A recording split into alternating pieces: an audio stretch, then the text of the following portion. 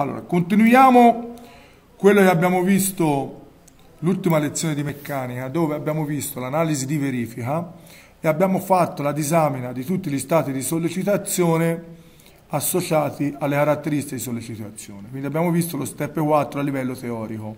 Oggi cosa facciamo? Andiamo a calcolare questi stati di sollecitazione all'interno della sezione S320 mm che è già stata oggetto dello studio dell'analisi di progettazione. Quindi oggi analisi di verifica andiamo a determinare lo stato di sollecitazione in questa sezione in relazione alle caratteristiche di sollecitazione che abbiamo definito e in base alla sezione nota perché ricordatevi in uno stato una in un'analisi di verifica è noto il materiale ma anche la sezione come valore, come diametro, va bene? Quindi il diametro di questa sezione è quello abbiamo, partiamo da quello che abbiamo già calcolato, che era, quant'era nel nostro caso? Quanto si era calcolato il diametro effettivo? Era 53. Sì, perché qui totale no, era 60. Questo non è effettivo, questo è il diametro minimo. Il diametro effettivo eh, era 60, 60 con la serie per la chiavetta. 60, va bene? Quindi noi però il calcolo per l'analisi stesso discorso, prendiamo diametro effettivo 60, però non lo facciamo su 60 la verifica, perché? Perché se c'è una chiavetta a parte che lavoro è 53. Ecco, è 53 o 53 e mezzo, quant'era? Vabbè. Quant'è la chiavetta? 53. Quant'è la chiavetta visto? Un diametro di 60? Mi sembra sia 7 e mezzo. No, era, si era detto 7. Sicuro? 7, 7 prof, sì. anch'io 7. Allora, 7 oh. e quindi è, il diametro effettivo è 53 mm, quindi ragioneremo su una sezione di 53 mm, va bene? Quindi avremo qui la nostra chiavetta che genera una riduzione di diametro dell'albero e quindi avremo un diametro in rosso effettivo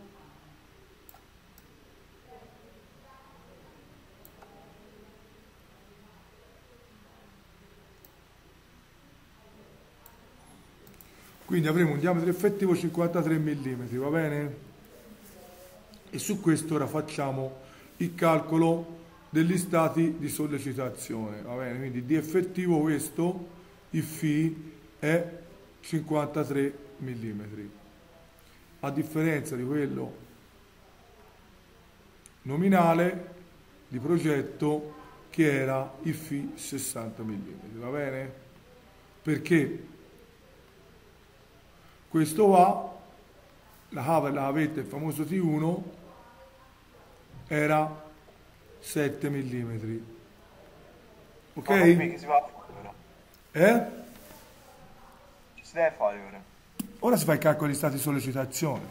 Allora, partiamo, cioè l'output, l'output dello step 4 è determinare i sigma e i tau. Va bene? Il sigma dovuto allo sforzo normale, il sigma dovuto allo sforzo di taglio, il sigma dovuto al momento flettente e il, sigma e il tau dovuto al momento torcente. Quindi partiamo dal primo, lo sforzo normale uguale a 0, quindi non genera stato di sollecitazione. Poi abbiamo il taglio. Il taglio genera nella sezione 4800 newton genera il tau. La formula che mi dà il tau è A che è 4 terzi per la sezione circolare per il taglio 4800 fratto l'area. L'area la posso calcolare in millimetri quindi è pi greco per 53 alla seconda fratto 4 l'area del cerchio lo metto in calcolatrice e trovo il tau dovuto al taglio.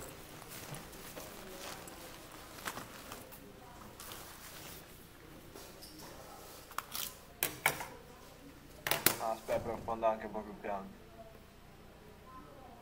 Ma si sta facendo il ripasso di quello della scorsa volta? Sì, no, si sta facendo il calcolo, l'altra volta non si fece il calcolo, si fece solo la teoria. Ah sì, è vero. Ora si applica le formule che si è fatto l'altra volta e si fa il calcolo esplicito dei valori degli stati di sollecitazione.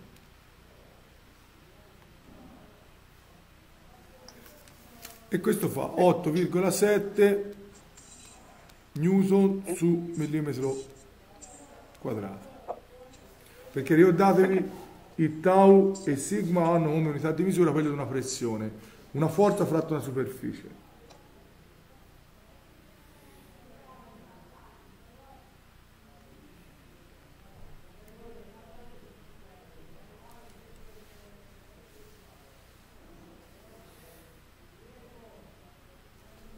Poi ho la sollecitazione dovuta a un momento flettente che è uguale a 2,16 per 10 alla terza newton metro. Questa la posso portare in newton millimetri, 2,16 per 10 alla sesta newton millimetro.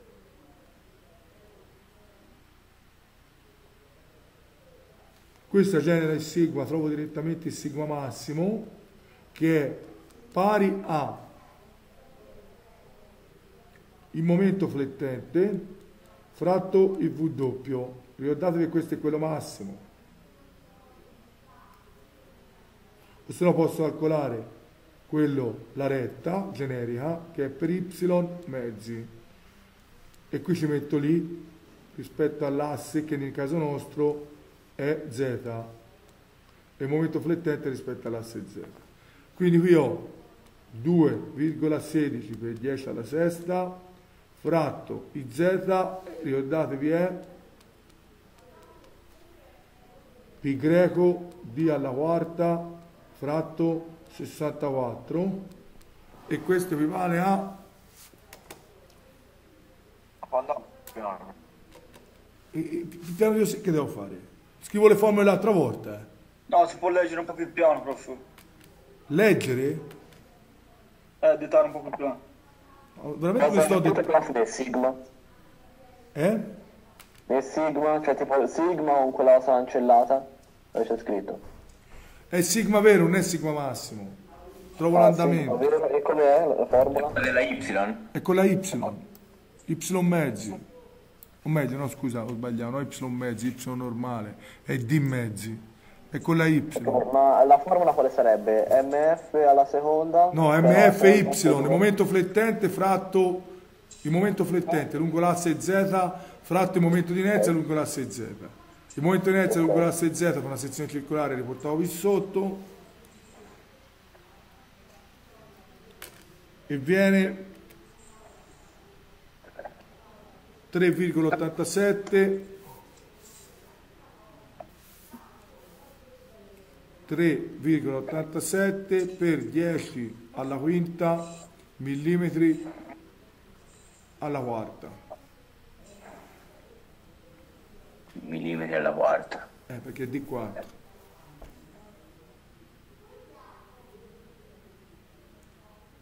Ah vabbè, tanto poi si semplifica su.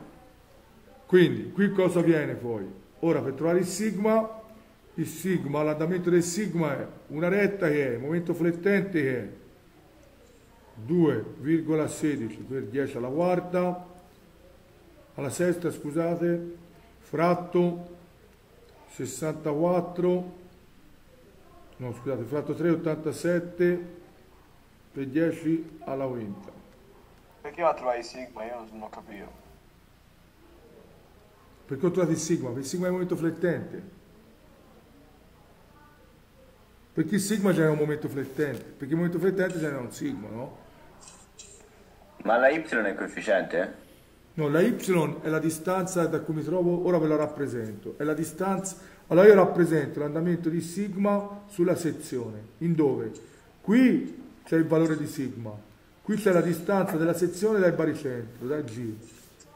Questa è la sezione, la distanza del punto G. Più che mi allontano, più che forte è sigma.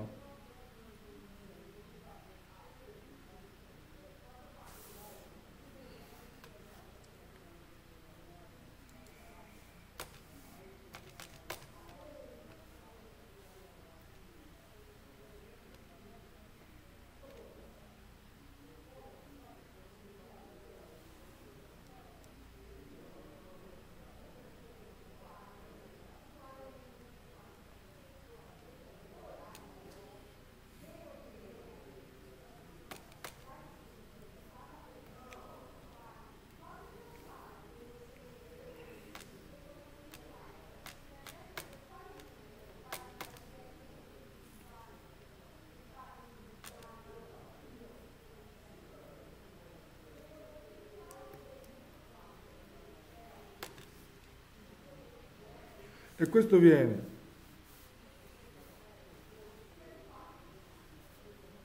Cinque virgola cinquantotto.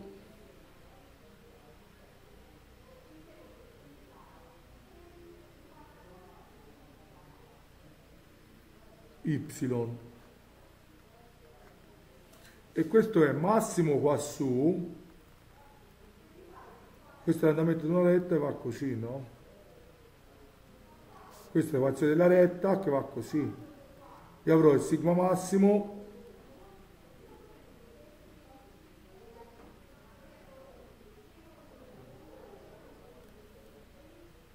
Chiaramente positivo qui e negativo qui.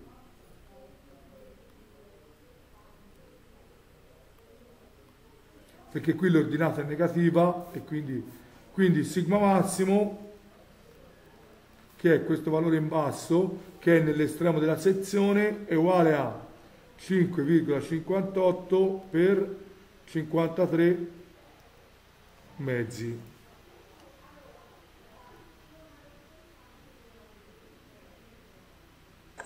Fa, cioè per il raggio del diametro? Eh? Cioè per il raggio? Sì. E viene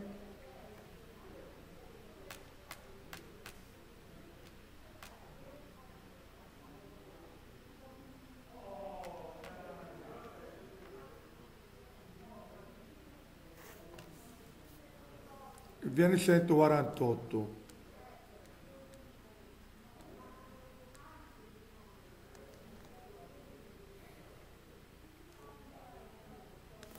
Fammi ricontrollare. Ma perché Y? Eh? Ma perché viene sigma uguale Y uguale 5,58Y? Perché la sigma è variabile a seconda della distanza a cui mi trovo dalla, dai, dai, da- dalla centro della sezione. Si disse l'altra volta, se c'è un momento flettente, la sezione si deforma così. Quindi la massima sollecitazione ce l'ho all'intradosso e all'estradosso, agli estremi della sezione. Che vuol dire prof? Eh? Vuol dire cioè all'interno all'esterno, ok? All'interno e all'esterno, chiamatela così. Eh, eh, no. No, la vedo così.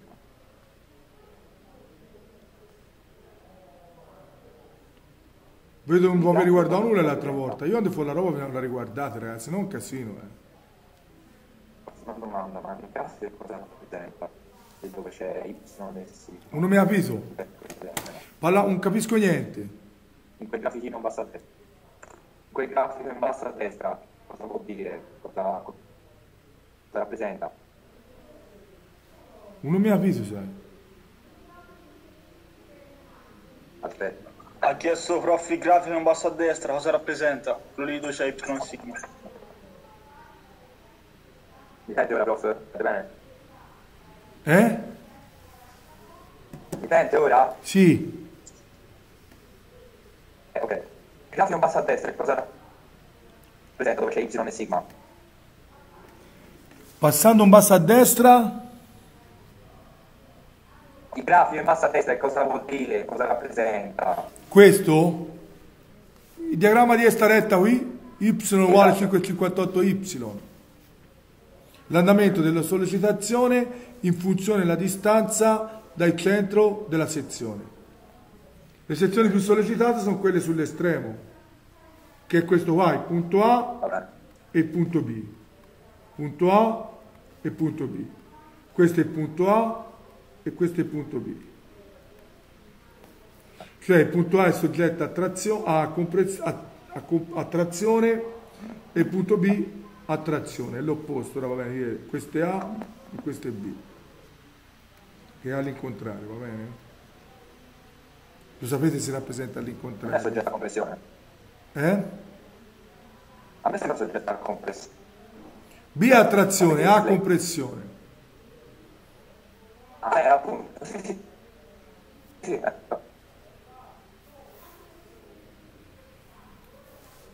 Grazie.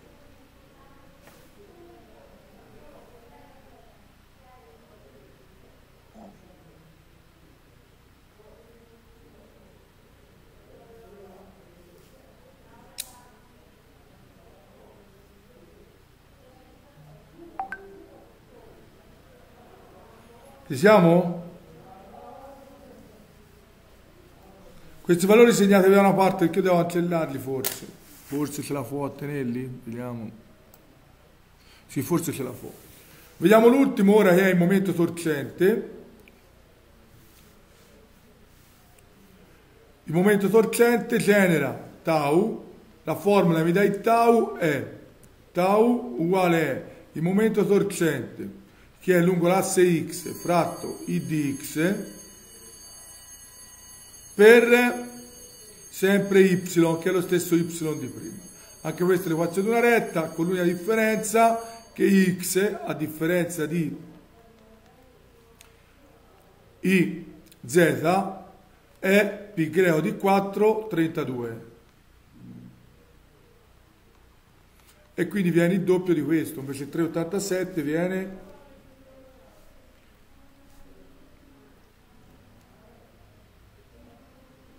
sette e settantaquattro.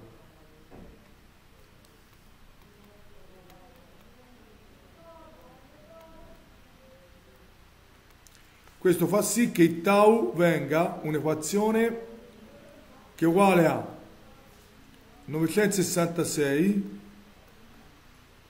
per 10 alla terza alla sesta se lo fa in millimetri fratto 7,74 per 10 alla quinta di y e questo viene 966 per 10 elevato alla sesta alla terza alla terza Perché scusa facendo la sesta? perché lo fa a newton millimetri non da newton metri vedi via newton metri lo Ok. porto un millimetri a meno che è tutto un millimetri diviso 7. 7.74 per 10 elevato alla quinta. E viene 1,25 y. Sì.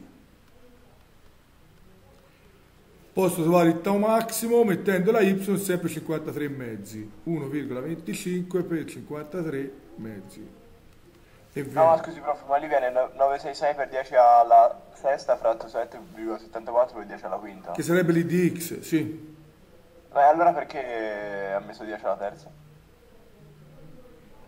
qui O non era alla sesta? No, perché questo è già in newton millimetri 9,66. Qui invece era 2,16, capito? Qui è già 9,66 newton millimetri, non c'è 10. Quindi lo moltiplico per 10 alla terza.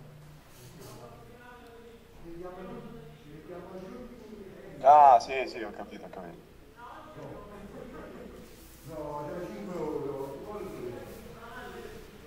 E qui viene 32,6.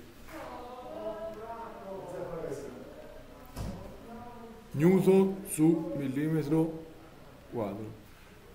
Quindi ricapitolando, La Y, la Y prof è 53 fratto 2 o 13? 53 fratto 2. Sarebbe il diametro mezzi, il raggio. Sì, quello di prima, sì.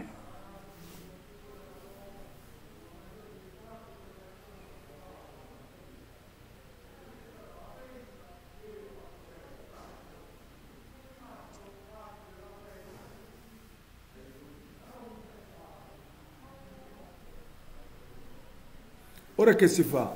Si prende, si scrive da una parte tutti i valori che io mi sono calcolato, va bene? Quindi il 32,6, il 148, il 8,7 e 0 del- dello sforzo normale e ricavo i sigma globali, va bene? Quindi fo sigma totale uguale al sigma dello sforzo normale più il sigma di momento flettente. Chiaramente lavoro la sezione alla massima sollecitazione, prendo valori massimi, quindi è 0 più il valore massimo, che se si rompe la sezione si rompe nel punto più esterno, mentre il taglio, come sappiamo, è massimo nella mezzeria. Cioè cambia di fatto punti, no? Posso fare due modi, o approssimato così, e qui fo sigma più 148, perché se no mi torna. Allora, posso fare un, un calcolo approssimato.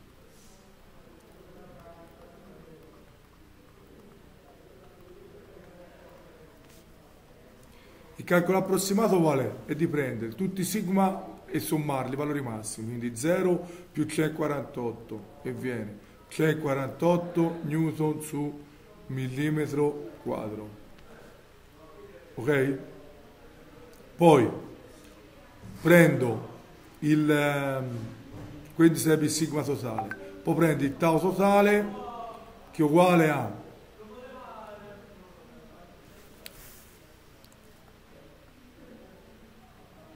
otto virgola sette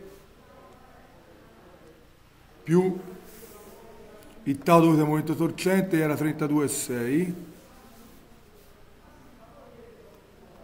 e questo fa 41,3 newton su millimetro quadro e prendere questi come valori di output per lo step successivo. Va bene? questo è un modo. L'altro modo è un po' più raffinato però richiede la conoscenza specifica di Juraski è di dire bene io, io divido la sezione nei punti critici che sono A, B, C e D. Riporto una tabella.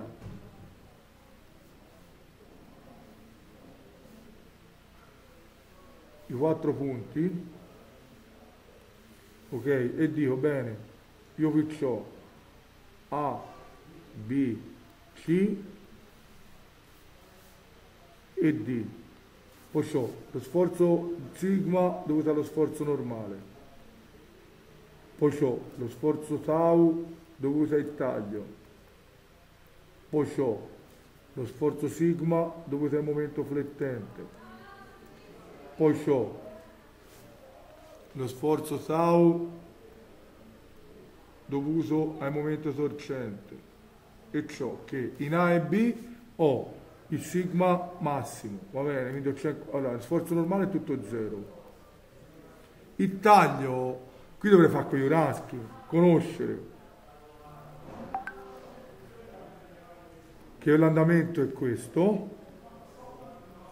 quindi qui ho lo negli estremi, in A e B, ho il valore minimo, in mezzo ho il valore massimo, quindi dovrei usare la formula vera che mi dice che T è uguale al taglio SB fratto la corda per l'area. Dovrei conoscere tutti i termini, ora non ne sto qui a farvi. Si arriva all'SB, che è praticamente l'SB di baricentro, è l'area di questo semicerchio, moltiplicata per la distanza dal centro, che è questo, tra il baricentro e questa, è R quarti.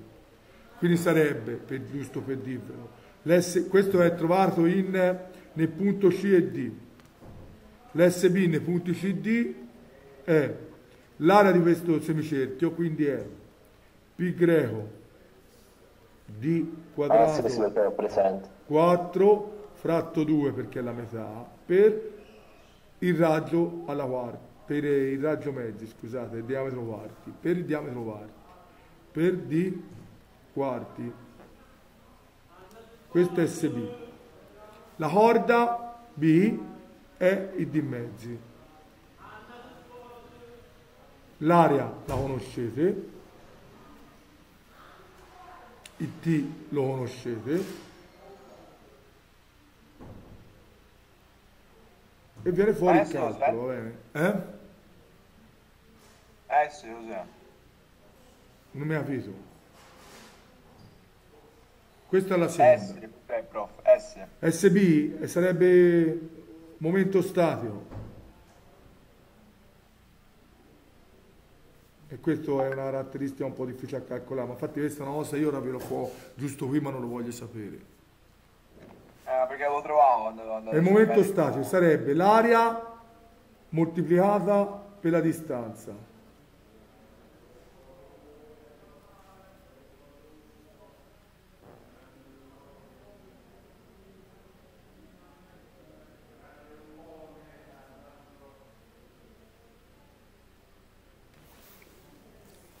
Quindi questo non lo calcola. Questo è SB in questo punto.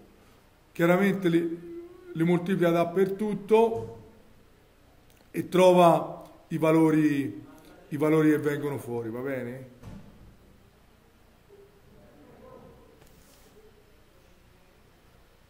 Voglio vedere controllare la forma di Uraschi sia giusta perché poi a memoria, ma anch'io alleno a memoria.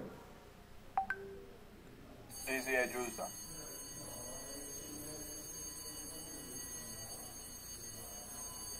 Un po' a memoria, eh.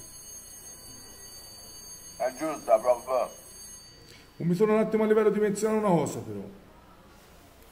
Perché SB dovrebbe essere una grandezza alla terza. No, mi sa che non c'è là, eh. Ho sbagliato, questa qui non c'è. Non mi sono a livello dimensionale perché deve di newton su millimetro quadro. SB è alla terza, B è alla prima, viene alla seconda, no va bene. No, non è giusto ragazzi, sbagliato. È all'incontrario, è T per B fratto SB mi sa. Perché sennò mi viene newton su millimetro quadro. No, no, prof, è T per S No. fratto J per B. Ah, fa ragione. T per SB fratto giusto, momento di inerzia giusto che va alla quarta per B. Ora mi torna, questa è la quarta, questa è la prima, quinta, fratto terza viene alla seconda. Vedete come si fa a ricordarvi le memorie? Se uno a memoria non si ricorda, però torna dimensionalmente, capito? Ok. E questo è il momento di inerzia rispetto all'asse dove agisce il taglio. Quindi in questo caso qui è, sui, è lì di Y. E alla direzione dove agisce il taglio, T di Y. Quindi poi sarebbe, in questo caso qui, è pi greco D alla quarta fratto 32. Y.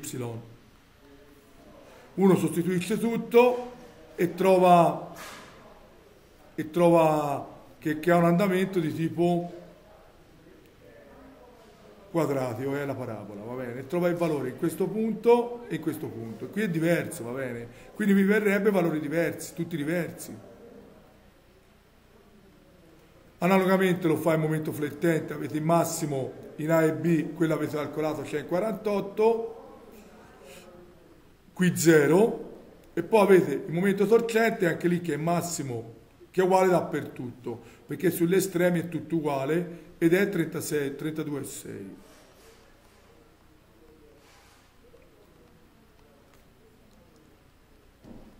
E questa tabellina è l'output per lo step 5. Chiaro, un po' più precisa. Perché per l'output dello step 5 andiamo a trovare, si suppone che se c'è un punto che raggiunge i i- la sollecitazione massima si rompe, anche non è detto perché magari si rompe in questo punto, ma non è detto che si rompa dappertutto, perché un punto quando è qui raggiunge il limite di rottura non è detto che si rompa, ma cioè lui smette di lavorare, fa lavorare più l'atomo accanto e quindi assorbe parte della sua energia, quindi si ridistribuisce la tensione. Non è che se si rompe un punto si rompe tutto. Nasce quelle che si chiama cerniere plastiche, che studierete a costruzione di macchine 2 se studierete, ma se no al liti qui ci fermiamo. Al liti ci accontentiamo del concetto di questo qui,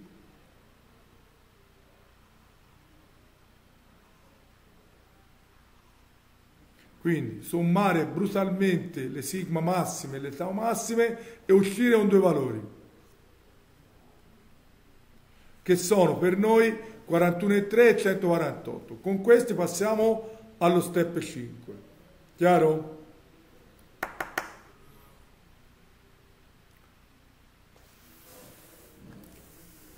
Grazie comunque per avermi detto la forma di Uraschi, vuol dire che almeno l'avete guardata.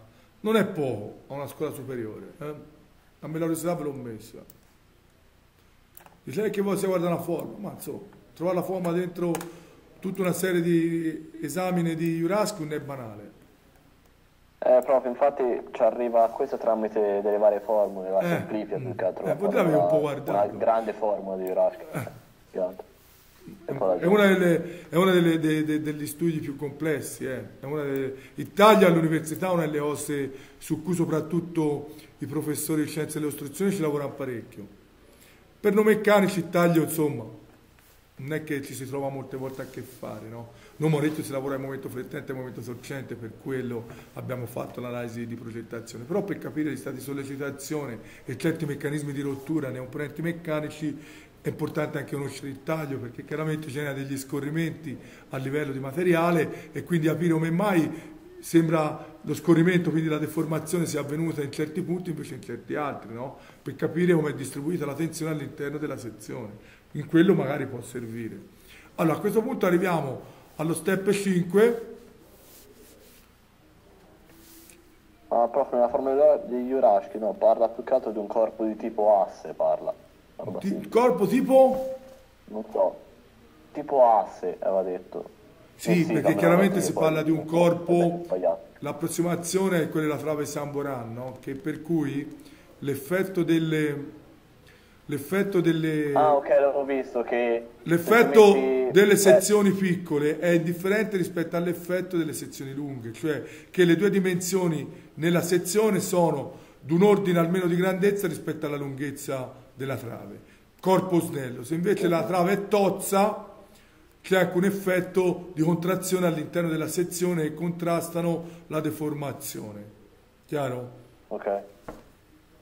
Però diciamo, solitamente si fa sempre l'ipotesi di San Venanno, in cui ora io onestamente non ve l'ho detto, ma perché si entra poi in un campo un po' in cui gli effetti diciamo, di contrazione all'interno della sezione sono minimi rispetto all'effetto e non si valuta sulla lunghezza.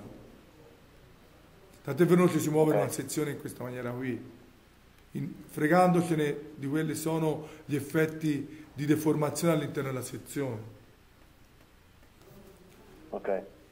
Allora, lo step 5, lo step 5 cosa dice? Lo step 5 ci dice, ci permette di calcolare un sigma equivalente. Che cos'è il sigma equivalente? È uno stato di sollecitazione equivalente alla combinazione degli stati di sollecitazione abbiamo visto. Cioè praticamente noi cosa abbiamo visto? Abbiamo visto quattro stati di sollecitazione, una trava quel modo lì è come se fosse sollecitata con un'unica sollecitazione equivalente applicata sul provino di trazione. Va bene?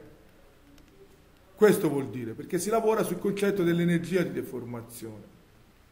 E questo, qui ci sono varie formule, c'è Tresca o Von Mises, noi il manuale lavora con Von Mises, che vi dice il sigma equivalente è sigma alla seconda totale, che avete riavato, più il tau totale alla seconda per 3. Quindi noi sostituiamo valori precedentemente calcolati in cui sigma era 148, vero?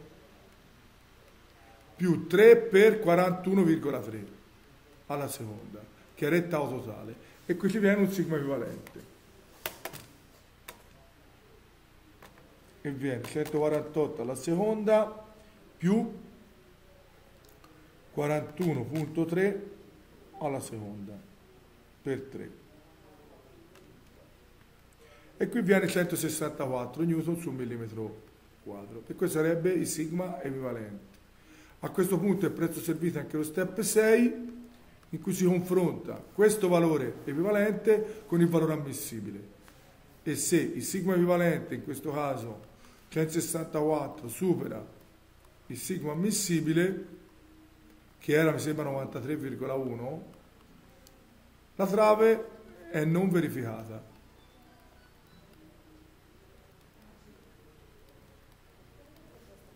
E questa è la conclusione. Ho scritto proprio equivalente è si- 164? si è calcolato è step 5, va bene?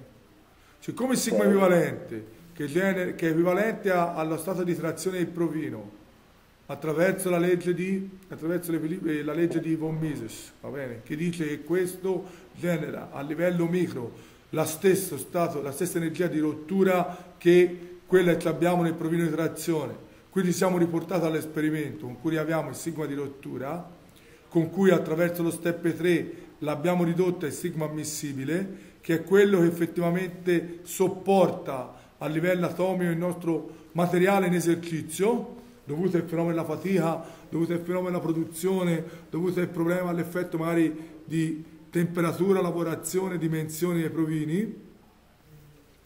Abbiamo appunto il sigma ammissibile, lo confrontiamo con il nostro sigma equivalente, siccome il sigma equivalente supera il sigma ammissibile, vuol dire che il sistema non resiste, non è verificato.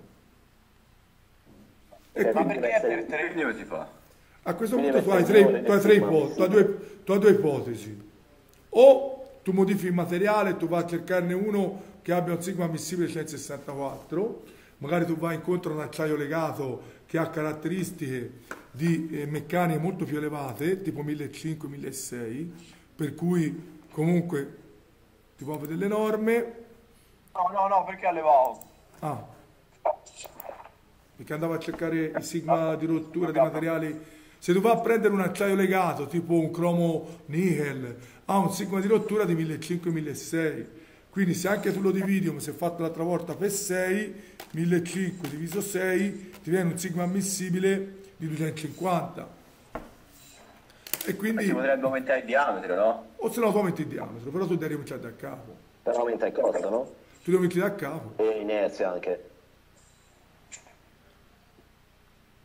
Questo step 4, 5 e 6 che abbiamo fatto come, come una verifica a parte potrebbe essere messo in coda allo step 6 dell'analisi di verifica.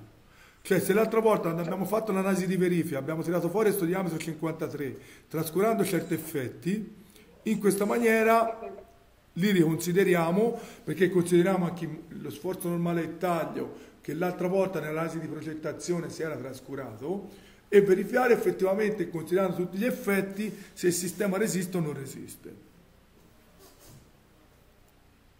Però prova ha detto che ci sono due opzioni. Uno cerca- cercare un altro materiale con un sigma di rottura più alto, o se no qual era l'altra? Aumentare il diametro. Prendere, aumentare il diametro. Ok. O ridurre carichi, ma vuol dire cambiare motore, cambiare tutto e quindi non, non soddisfare le richieste del cliente o della, della macchina che volevo costruire. Oppure assumermi il rischio, perché quindi il sigma ammissibile non si è messo 4 a denominatore, di assumermi un rischio, cioè per esempio non si è messo, quando si trova il sigma ammissibile non si è messo 1,5 e 4, no? L'1,5 era dovuto all'incertezza di materiale e tutto. Oppure andare a cercare un materiale certificato, cioè di dire io voglio un materiale che sicuramente ha un sigma di rottura 800. Quindi prendere un materiale che costa di più certificato, sempre non considerando gli effetti di, di messa in esercizio, 800 diviso 4 fa 200. Sono tutti ragionamenti uno fa, no? E alla O 200 devi ci rientri. sul sicuro. Capisci? andare di più sul sicuro o rischiare, diciamo. No, perlomeno aver chiaro cosa comporta una scelta progettuale. Quando uno ha chiaro la scelta progettuale, è chiaro che anche le conseguenze che deriveranno da quella scelta progettuale sono chiare. Cioè quando uno ha capito qual è il concetto che ci porta a una conclusione, poi lo gestisce in meglio, no? Di fronte a una conclusione in questa maniera dice cambio materiale e vado in un materiale più costoso ma più sicuro. Vado all'interno di un materiale meno costoso ma certificato, tipo un C40 in cui mi garantiscano 800 minimo, che ha un costo anche lui, oppure aumentare il diametro ha un impatto sul peso, sull'ingombro, su tutto il resto. Cioè, sono tutte scelte progettuali e chiaramente il progettista va a fare. Voi cosa dovete fare? Dovete, dovete capire cosa ci sta dietro queste scelte progettuali e tirare le conclusioni. Cioè anche all'esame di maturità, quando vuoi fare un'analisi di progettazione, magari no, vi fermate allo step 6. Poi dite sì, ho trascurato lo sforzo normale e taglio, dovrei a questo punto col diametro effettivo valutare l'effettiva resistenza del mio materiale. Lo dite e basta, non lo fate, ma già avete chiaro in testa cosa andrebbe fatto. Chiaro? Sono tutte... Da ora in poi nasce un mondo che è fatto da analisi tecniche, ma anche ragionamenti scientifici, che crea l'uomo, no? Cioè saper, diciamo, argomentare all'interno di un argomento quelli sono i concetti fisici, che sono il sigma, il tau, che sui non si discute, Juraschi, fatto anche Juraschi, vedete, arriva alla conclusione attraverso tutta una serie di passaggi matematici. Quindi alla fine la forma di Juraschi è legge. Però poi da lì a considerare io meccanico, Juraschi ha come legge, quindi determinare la sezione a pezzettini, oppure di dire sì, accetto il valore medio perché se mi si rompe in un punto non è che mi si parte il materiale, ma ridistribuisce la tensione, quindi considerare il tau medio non è un errore poi sul macroscopio e lavorare il tau medio e e fare lo stesso ragionamento dando un peso alle cose. Chiaro?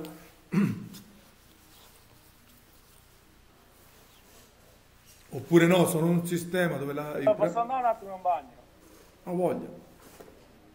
Tutto chiaro?